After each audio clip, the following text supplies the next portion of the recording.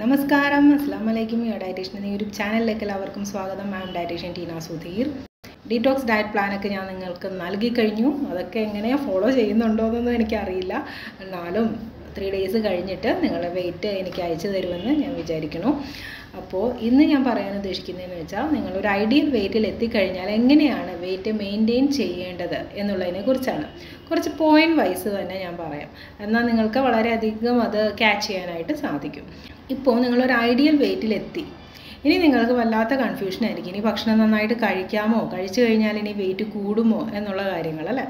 ഭക്ഷണം കഴിക്കുന്നതുകൊണ്ടൊന്നും ഒരു പ്രോബ്ലം ഇല്ല. പക്ഷേ എപ്പോഴും ശ്രദ്ധിക്കേണ്ട ഒരു കാര്യം എന്ന് വെച്ചാൽ പോർഷൻ കൺട്രോൾ വെച്ചിട്ട് ഫുഡ് കഴിക്കുക. ഒരുപാട് വാരി വലിച്ച് ഭക്ഷണം കഴിക്കാൻ പാടില്ല. എല്ലാ ന്യൂട്രിയൻസിന്റെയും പോർഷനെ കുറിച്ച് ഞാൻ വീഡിയോ ചെയ്തിട്ടുണ്ടായി. അതിന്റെ ലിങ്കൊക്കെ വേണമെങ്കിൽ ഞാൻ ഡിസ്ക്രിപ്ഷനിൽ ഇടാം. എല്ലാ ഭക്ഷണവും പോർഷൻ കൺട്രോളിൽ തന്നെ നിങ്ങൾ കഴിക്കാനായിട്ട് നോക്കുക. നമ്മുടെ മലയാളികൾക്ക് ഏറ്റവും പ്രിയപ്പെട്ട ആഹാരമാണ് ചോറ് അല്ലേ? ചോറ് കഴിച്ചില്ലെങ്കിൽ വല്ലാത്ത ബുദ്ധിമുട്ടാണ് മിക്കവർക്കും. അപ്പോൾ അതുകൊണ്ട് തന്നെ ചോറിന്റെ കാര്യം ആദ്യം പറയാം. ഏഴ് ടേബിൾ സ്പൂൺ റൈസാണ് ഒരു പോർഷൻ എന്ന് പറയുന്നത്.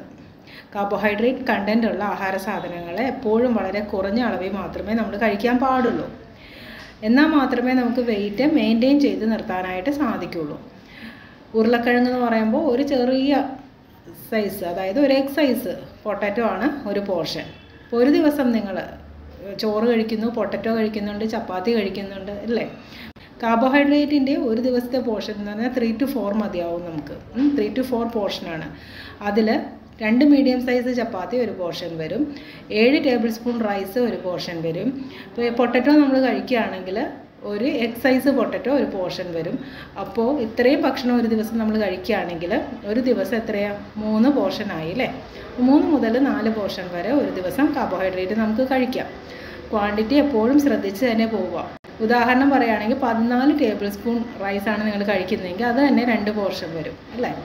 അപ്പോൾ അതനുസരിച്ച് തന്നെ കാൽക്കുലേറ്റ് ചെയ്ത് സ്വന്തം കോമൺ സെൻസ് വെച്ചിട്ട് തന്നെ ഭക്ഷണം കഴിക്കാനായിട്ട് ശ്രദ്ധിക്കാം ഇതിൽ പ്രധാനമായിട്ട് നിങ്ങൾ ശ്രദ്ധിക്കേണ്ടത് ഡിന്നറാണ് ഡിന്നർ ഒരിക്കലും ലേറ്റ് ആക്കാൻ പാടില്ല. ഡിന്നർ നിങ്ങൾ നേരത്തെ ആക്കിയാൽ തന്നെ പകുതി വെയിറ്റ് നിങ്ങളുടെ മെയിന്റെയിൻ ചെയ്ത് പൊക്കോളും. ഡിന്നർ ലേറ്റ് ആകുന്ന അനുസരിച്ച് നമ്മുടെ ഡൈജഷനെ അത് ബാധിക്കുകയും അതുപോലെ തന്നെ വെയിറ്റ് റെഡ്യൂസ് ചെയ്യാനായിട്ട് ഒരു ബുദ്ധിമുട്ട് നേരിടുകയും ചെയ്യും. ന്യൂട്രിയൻസിന്റെ ഡെഫിഷ്യൻസി ഉണ്ടെങ്കിലും ഒരിക്കലും നമുക്ക് വെയിറ്റ് റിഡക്ഷൻ സാധ്യമാവുകയില്ല. അതുപോലെ തന്നെ വെയിറ്റ് മെയിന്റെയിൻ ചെയ്ത് കൊണ്ടുപോകാനും പറ്റില്ല. അപ്പോൾ എപ്പോഴും നമ്മൾ ഒരു വെൽ ബാലൻസ്ഡ് ഡയറ്റിൽ പോവുക.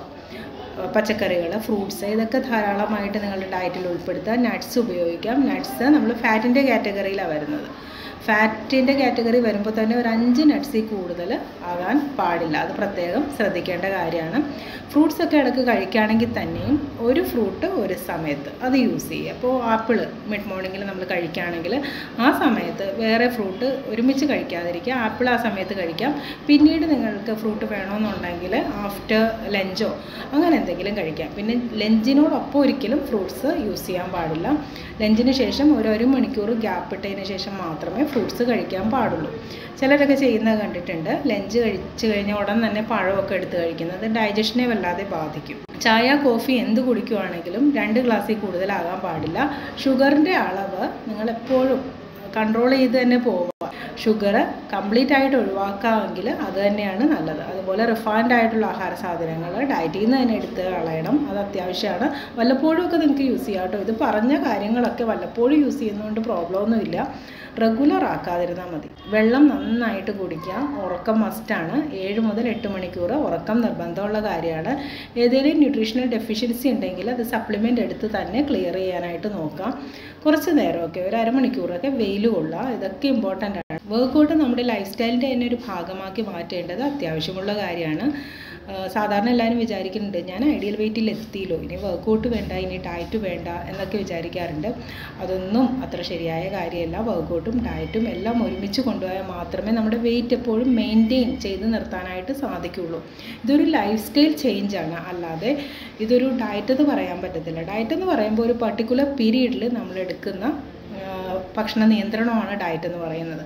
പക്ഷേ ലൈഫ് സ്റ്റൈൽ ചേഞ്ച് എന്ന് പറയുമ്പോൾ നമ്മുടെ ലൈഫിൽ നമ്മൾ എത്രത്തോളം ജീവിക്കുന്നു അത്രയും കാലം നമ്മൾ ഭക്ഷണത്തിലും അതുപോലെ എല്ലാ കാര്യത്തിലും ശ്രദ്ധിച്ച് തന്നെ മുന്നോട്ട് പോകണം. എന്നാൽ മാത്രമേ നമ്മുടെ വെയിറ്റ് ഒക്കെ മെയിന്റെയിൻ ചെയ്ത് നമുക്ക് അസുഖങ്ങളൊന്നും വരാതെ ഇരിക്കുകയുള്ളൂ കുക്കിംഗ് യൂട്ടൻസിൽസ് ഇമ്പോർട്ടന്റ് ആയിട്ടുള്ള കാര്യമാണ്. നോൺ സ്റ്റിക്ക് വെയർസ് കംപ്ലീറ്റ് ആയിട്ട് ഒഴിവാക്കുന്നതിനാണ് എപ്പോഴും ബെറ്റർ അതുപോലെ തന്നെ മഡ് പോട്ട്സ് മഡ് പോട്ട്സ് ഒക്കെ യൂസ് ചെയ്യുന്നവരിൽ വൈറ്റമിൻ ബി ട്വൽവിന്റെ ഡെഫിഷ്യൻസി ഒക്കെ വളരെ കുറവാണ് കണ്ടുവരുന്നത്.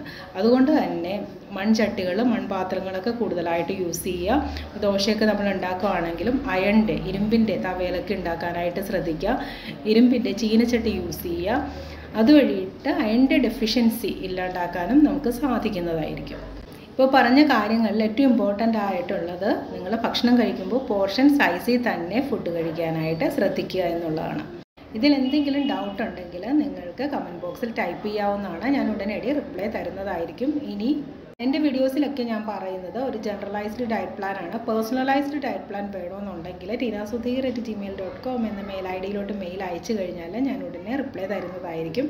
ഇന്നത്തെ വീഡിയോ എല്ലാവർക്കും ഇഷ്ടമായെന്ന് കരുതുന്നു. ഇഷ്ടമായെങ്കിൽ ലൈക്ക് ചെയ്യുക ഷെയർ ചെയ്യുക എന്റെ ചാനൽ സബ്സ്ക്രൈബ് ചെയ്യാൻ മറക്കരുത്. നന്ദി നമസ്കാരം.